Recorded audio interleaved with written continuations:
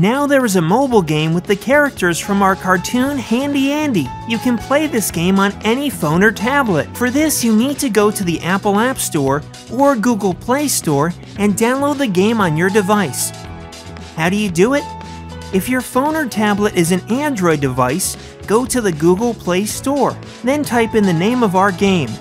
Run Handy Andy Find it and click Install. Install the game on your device. If you have an iPhone or iPad, go to the Apple App Store on your device, look for our game, Handy Andy Run, in the search, find it, and click Get.